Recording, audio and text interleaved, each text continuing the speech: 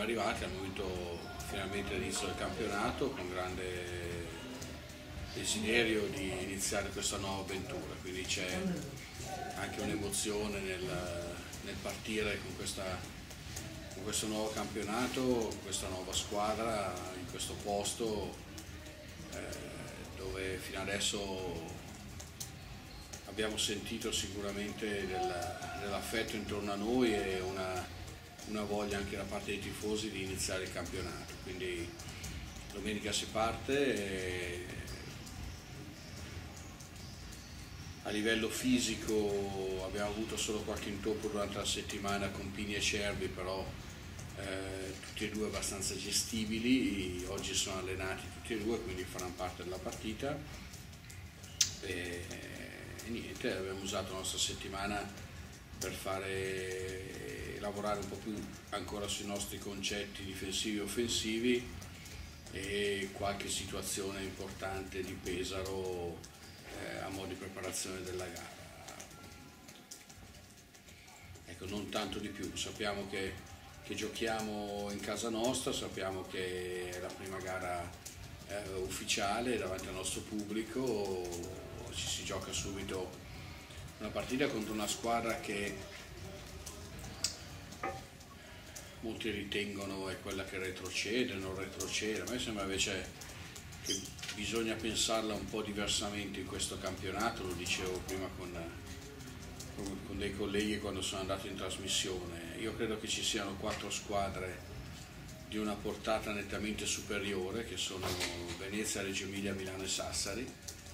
Sono superiori per un discorso economico, per un discorso di qualità di giocatori che hanno preso, per qualcuna per la stabilità che ha mantenuto come Venezia con un possibile miglioramento. Sassari ha cambiato un po' da campione d'Italia ma ha cambiato in meglio, se era possibile farlo e quindi mi sembra che queste quattro squadre, a meno di, di, di una sorpresa grandissima, queste quattro squadre siano eh, di un livello superiore a tutte le altre. Poi delle altre 12 io vedo che c'è veramente grandissimo equilibrio e c'è anche la curiosità di scoprire chi saranno le squadre che, che occuperanno gli altri quattro posti del playoff. Siamo in Liz anche noi e ci mettiamo lì con grande dedizione, grande ardore, con grande volontà nel, nel cercare di raggiungere questi obiettivi. Pesaro mi sembra una squadra ben costruita, ha preso dei giocatori molto atletici che ognuno fa il proprio ruolo, hanno preso un 4 con 4, un 5 con 5, eh, un playmaker molto atletico, una guardia un'ala piccola, una serie di, di quintetto americano secondo me molto ben distribuito. E hanno fatto una panchina invece tutta italiana di giovani, però sono giovani che io ho avuto la fortuna di allenare, che sono passati tutti per l'Under 20 eh, Gazzotti è quello sicuramente che si è più contraddistinto nel suo miglioramento in questi anni. Candussi è un prospetto per la pallacanestro italiana molto molto importante con i suoi centimetri e anche col tocco delle mani mh, buonissimo che ha. Eh, Basile è un po' quello che è capitano, l'anima di, di ferocia eh, che cambia il playmaker e poi sta facendo un precampionato, un giocatore che a mio avviso farà nei prossimi anni sarà un giocatore sempre più importante nel nostro campionato qui, nel campionato italiano, che è Ceron.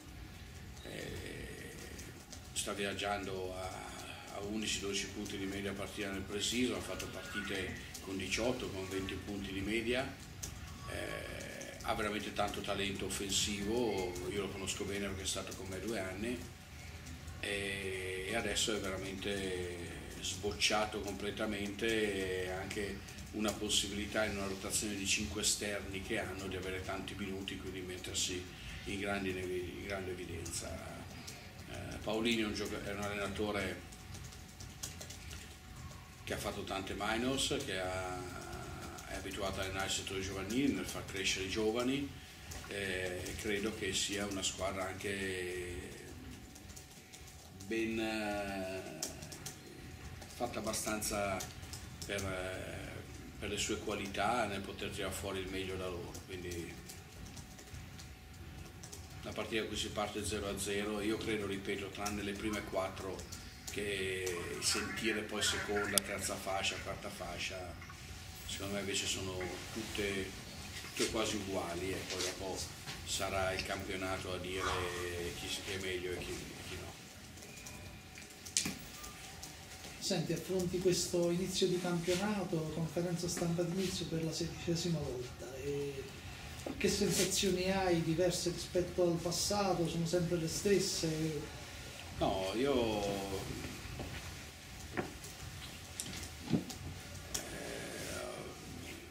sai, quando dopo ritorni in un posto il secondo anno, il terzo anno, poi dopo un po' ci prendi l'abitudine. Quando vieni qua per la prima volta eh, hai delle sensazioni un po' ancora da bambino, cioè uno che scopre delle cose nuove eh, con, e, e, rivedo, io questo è il mio sedicesimo anno che sarò campionato di Serie A, però c'è ancora c'è già emozione, si comincia a dormire un po' meno, si comincia a pensare sempre alla partita, eh, noto che anche nei giocatori piano piano la settimana comincia ad avere un certo tipo di, c'è un'area un po' più, non pesante, però insomma un po' più elettrica perché ci avviciniamo alla gara, grande considerazione, quindi eh, ecco, a me viene da pensare di, pensavo tra me e me che fortuna che ho che ancora una volta ho questa possibilità di potermi fare una bella annata eh, in una città tutta da scoprire, in un posto tutto da scoprire che però ci ha già fatto vedere che,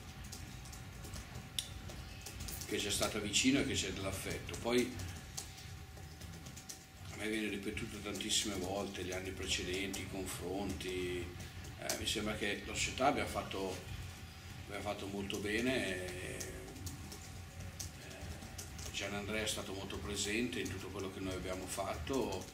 Eh, con Nicola c'è un continuo lavoro eh, sui giocatori, sulla, quindi tante cose messe insieme che ci danno grande, grande stimolo nell'iniziare. Ecco, questo, questa è una cosa che, che si sente eh, e speriamo di partire bene perché con una squadra così nuova anche della fiducia ci aiuterebbe nel caricare ancora più di lavoro perché ne abbiamo fatto tanto anche a livello non solo qualitativo ma devo dire la verità anche a livello quantitativo perché spessissimo gli orari pomeridiani superavano le due ore allenamento intenso, tanto lavoro la mattina e quindi eh, l'iniziare bene ti porta sempre un grande, un grande beneficio. Oggi volevo chiederti, da, per celebrare il, il, battesimo con i ragazzini terribili di Paolini, dove io sento i colleghi di Pesaro che ne parlano entusiasticamente, anche lì c'è molta fiducia in questa squadra, anche se è molto giovane. Poi ci saranno due squadre eh, dal tasso tecnico molto molto difficile da affrontare. Tu pensi che eh, a livello di preparazione avremo superato il gap per quel periodo? Beh, eh io adesso non penso tantissimo alle prossime due, penso solo a Pesaro. Sicuramente loro sono molto, molto atletici e sono una squadra di giovani che, che corre il campo benissimo con, con grande atletismo. Eh, io ho allenato a Pesaro per due anni, quindi eh, so bene, ho, ho un bel ricordo perché sono rimasto affezionato, è un posto incantevole dove si sta, si sta davvero bene eh, e la gente è molto, va molto su e giù, nel senso che c'è un grande entusiasmo e poi dopo c'è una depressione totale alla, alle prime sconfitte, quindi Pesaro è molto umorale sotto questo aspetto e, ed è chiaro che questa squadra giovane avendo iniziato un pre-season fatta molto bene ha già portato grande entusiasmo, ecco, quindi vedremo, ecco, sotto il punto di vista atletico eh, io credo che noi meglio di così non, eh, potevamo arrivare, nel senso che eh, abbiamo veramente sfruttato qualsiasi secondo a disposizione per poter lavorare e lo dico senza ruffianeria nei confronti dei giocatori, i giocatori sono resi molto molto disponibili anche a volte ogni tanto a fare dei sovraccarichi, a fare qualche cosa in più. Poi se saremo pronti, questo non lo so, ecco,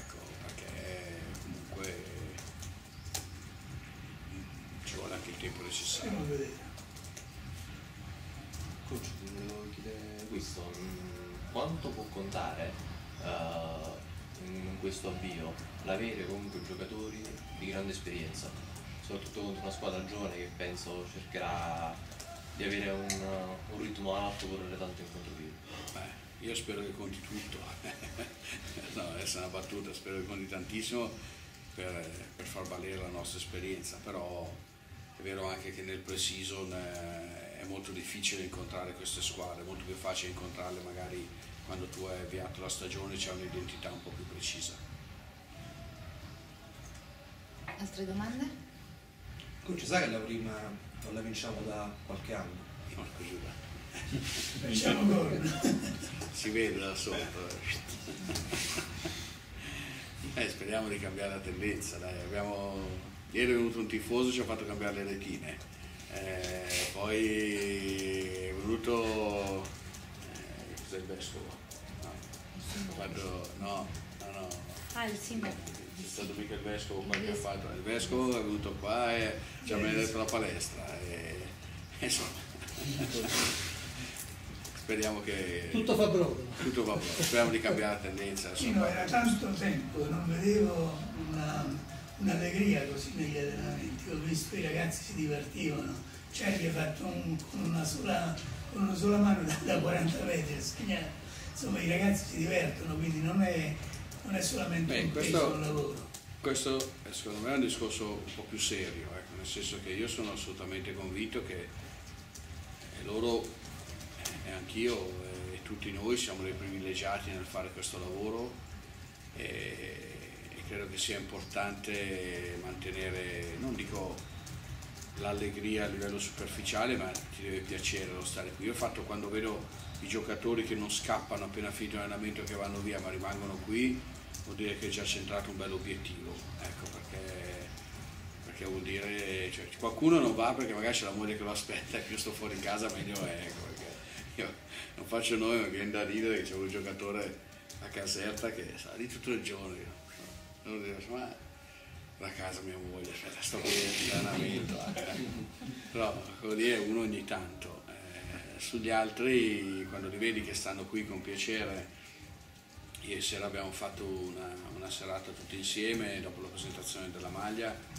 Da qui finisce l'allenamento, rimangono, parlano, fanno, vuol dire che il posto comunque piace ai ragazzi e, e anche l'allenarsi. Quando dopo cominci a vedere la gente che scappa via, che non vede l'ora, arriva un minuto prima, arriva un minuto dopo,